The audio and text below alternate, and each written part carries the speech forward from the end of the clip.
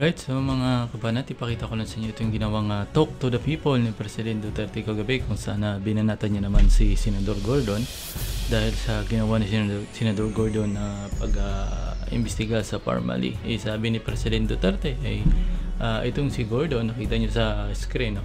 Pinakas kung ilan na mga ano. Pero mamaya, ipapakita ko sa inyo yung ginawa niya talagang speech kagabi kung saan ah, binanatan niya dito si Senador Gordon at ah, inulit-ulit niya yung ah, 66 million pesos na kinulimbatan niya ni Senador Gordon na talagang malver- malversation ang kaso ni Senador Gordon at ah, ah, hindi niya binayaran. Nanalo daw na, nat- natalo daw si Senador Gordon sa kaso tapos hindi rin naman daw binayaran ni Senador Gordon. So sabi ni Senador ah, ni President Duterte, eh, sabi niya, do not place ah, so much important dyan sa posisyon mo ah, just because you are a senador. Itong si Gordon talagang lumaki ang ulo. He treated the, he treated the other people like interior sa kanya. So yan sinasabi ni, Pre, ni President Duterte kagabi mga kabanat at kayo nang humusga dito. Kasi sabi ni si President Duterte, ah, itong si Senador, Senador Gordon na niya, hindi nadawit, hindi nadawit ako ni Senador Gordon sa kaso ng Parmali. Eh, kaso Mr. President, hindi mo kasi maiwasan talaga na maidawit ka dahil ikaw yung nag, naglo-lawyer eh. Kahit ah, balikan natin yung mga statement mo nakaraan. Eh, talagang ah, ikaw kasi nga tira ng tira. Ngayon, eh, yung mga kabinete mo ay hindi mo rin na pinapapunta sa kabila ng katotohanan na ano eh. Eh, yun ang problema dahil ah, gusto makita ng mga senador kung sino ba talagang may pakana. Kasi ang 642 billion yung pinag-uusapan mga kabanat eh. Hindi lang milyon eh.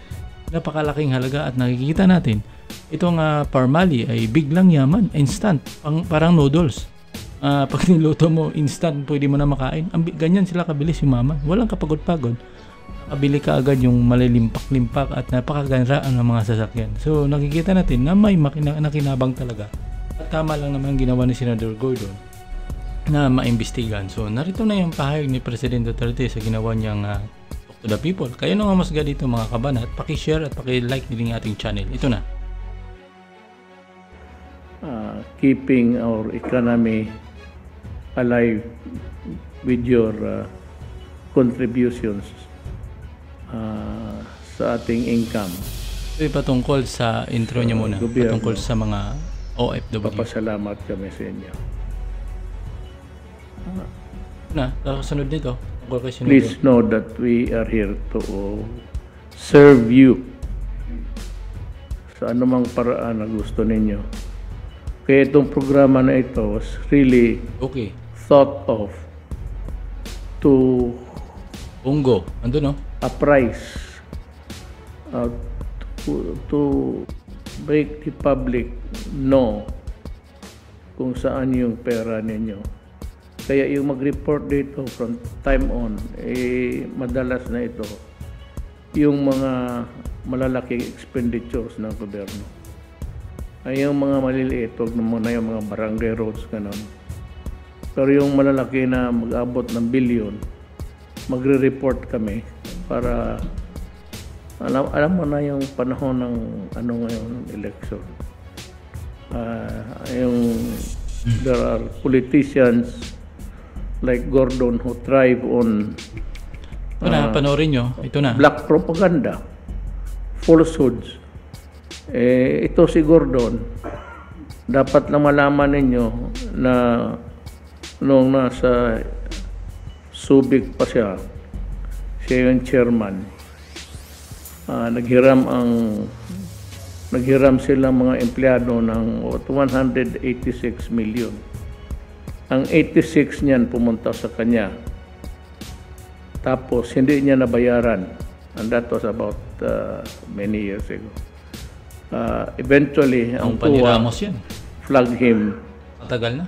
Tapos inimbestiga siya. Tapos sabi ng COA, ginastos niya ng personal. So it became his uh, uh, personal liability. Pinabayad siya hanggang ngayon, hindi niya binayaran. Nag-appeal siya sa korte hanggang umabot sa Supreme Court. In the Supreme Court, the decisions of the lower courts were affirmed in the sense that Supreme Court Hindi niya binayaran until the judgment became final and executory. Yun ang nangyari. Ngayon, dalawa yan. Kung sa accounting, that would be disallowance. Meaning to say, pag tinag ka disallowance, ginastos mo ng sarili ninyo. Ngayon, pagka sa criminal case, sa ombudsman, that is malversation. Ah, ito si Gordon is uh, scoundrel na pa-elect ng pa-elect, pa-elect ng pa-elect, payaman ng payaman, lalo na noong ano pa siya, ah, sa Subic pa siya. Kaya nung malaalam natin, nung ah, paalis na si ah, President Ramos, gusto niyang ma-retain chairman dyan sa ah, Subic sa board. Tapos habol siya ng habol kay Presidente Ramos, hindi siya pinansin. Kaya nag, ah, nag, I remember yung sa TV, yung asawa niya, pati siya, hinabol pa nila sa highway si Ramos. Na, Ramos did not bother to stop. Ignored him and his wife at hindi nila nakuha yung ah, uli na yung sa Subic. Yan ang totoo. Ngayon yung sa ano, ini inimbestiga nila yung mask ah, ah, yung parmalin na ano. At idawit niya ako doon. Alam mo, sa totoo lang, kung kawatan ako, hindi ako abot na pagka-presidente. Uh, been mayor of forces. Kagaya niya, 23 years, a congressman. Naging vice mayor ako sa anak ko.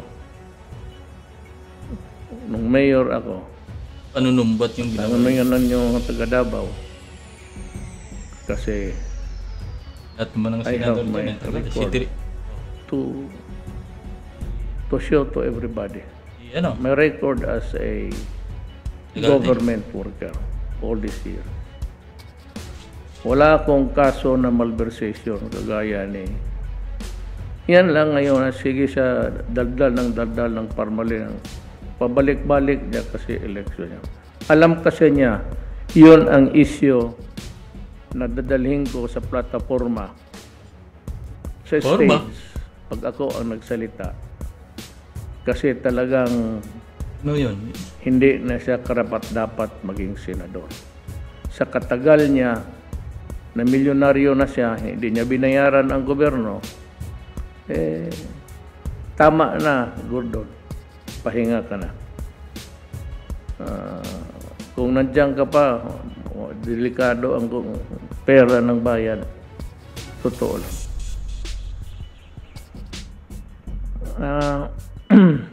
Bago ako mag-umpisa, ah, Alright, so yan mga kabanat, andyan dyan yung ah, speech ni President Duterte sa pagbira kay Senador Gordon. Sa akin lang, no, ano kayang sinasabi ni President Duterte na yun kasi yung dadalhin kong plataforma sa stage? Ano yun? Hindi ko mag-gets eh. Ano, ano bang plataforma patungkol sa face mask? O yan ang dadalhin niya sa stage na plataforma para siraan si Senador Gordon, di kaya? Kasi kung yun ang dahilan niya, eh, plataforma niya, ano yun? Achievement ba yung ginawa mong pagbili ng face mask, facial? Hindi naman ah. Hindi mo ipag, may pagmalaki yan dahil nga napakaraming issue. Di ba? At saka, normal yan na ano mo, na obligasyon mo, ikaw ang presidente. Kailangan mo talagang alagaan yung taong bayan dahil nga presidente ka, anong gagawin? Wala kang may pagmalaki dyan dahil trabaho mo yan, obligasyon mo. kung ikaw yung ginawang trabahador, dapat mo magtrabaho ka. Kung hindi ka na magtrabaho, eh, maaaring tatanggalin ka. Yun ang, ngayon ang realidad doon. So, dyan lang natin. Hanggang dyan na lang mga kabanat yung aking video. At maraming salamat. Comment kayo sa baba kung anong masabi nyo about sa sinasabi ni President Duterte about kay Senator Gordon. Maraming salamat. See you mamaya. Yeah, nakita nyo, no? Ah, grabe, grabe yung bira ni Presidente Duterte. So, huwag niyong kalimutan i-subscribe itong ating channel. Mamaya, ah itatopic ko lang yung mga kabanat tungkol sa tanong ni Congressman Atienza kay ah, sa The Chip kung saan na tinanong niya ano ba talaga yung trabaho. Bagamat di ko ring alam. Pero sa akin lang, ito kasing mga tumatakbong pres, ah, presidente, senador, hindi, na, hindi naman natin alam karamihan dyan kung anong business nila. eh. Ah, binibira kasi ni Congressman Atienza itong si Senador Bongbong Marcos. Ano ba trabaho daw ni Bongbong Marcos? Ano daw yung trabaho niya? Tapos, kung tanongin natin, ano bang ang trabaho ng tumatakbo ngayon? Ano bang trabaho ni Ah, halimbawa, Leni Robredo, nakapagpundar siya ng napakalaking pera. Halos na nasa 20 million yung ah, net niya. Ano bang yung business nila? Bongo. Senador Bongo, ano ba yung trabaho nila? Bakit nakapagpundar sila o naka may network sila na napakalaking, uh, halimbawa, million na rin eh. Halos nasa 20 million din. Yan ang mga tanong nga valid. Congressman Atienza, tumakbo ng pagka-presidente, ah, vice president. Ano yung ah, hanap buhay? Ano bang trabaho mo? Mga ganun mga tanong. Dapat Ah, may, may talakay din yan sa mga issue eh. Kasi para malaman ng tao, ano ba trabaho mo? Bakit ah, marami kang pera? Di ba? Ah, once lang itong kay Pacquiao, hindi natin ito ma... Hindi naman natin ito si Pacquiao ma... Ano, makaalam naman natin yung ano niya, may pera talaga si Pacquiao. Ba? Businessman din yan. Maraming share yan sa mga business malalaki. Kaya yun ang kinakatakot ng iba. Dagdag ko na lang, no? Ah, kinakatakot ng iba kapag si Senador Manny Pacquiao ay manalo ng pagka-presidente. Kasi alam naman natin si Senador Manny Pacquiao kulang no. Hindi naman siya bagamat yung puso niya gusto niyo maglingkod pero hindi yan kasi basihan eh. Alam nga naman na ano, presidente ka, napakalaking uh, gampanin mo. Ang dahilan niya, eh, sabi niya, eh, kukuha ko ng interpreter. Eh, paano yung interpreter mo ay sa- salungat sa kagustuhan mo? kukuha ng limang interpreter eh mamaya yung interpreter mo kanya-kanya nga di uh, ano sa iyo personal interest din ano mangyayari Yeah, at saka ang mga businessman mga friend ay kailangan delikado yan baka mamaya ma-influensyahan ka dyan hindi ako naniwala sa sinabi ni Senador Manny Pacquiao kasi na ah pag ako nanalo ng presidente wala nga kaibang kaibigan dyan maniwala ka dyan hindi ako naniwala sa mga ganyang uh, lagasgas na yung ganyang alibay napakarami ng mga politiko nangako ng ganyan na sabi, pag nanalo daw, eh, hindi ako makikinig dyan, hayaan ko yan. Ah, gusto ko yung taong bayan. Hanggang salita lang yan, mga kabanat. Kung nakaupo na yan, maniwala ka. Personal na interest pa rin yan yung nangibabo dyan. Yung mga best friend, best friend. Maniwala ka. Lumang tugtugin yan, mga kabanat. So, yeah, hanggang dyan na lang, mga kabanat, yung aking video. Maraming salamat.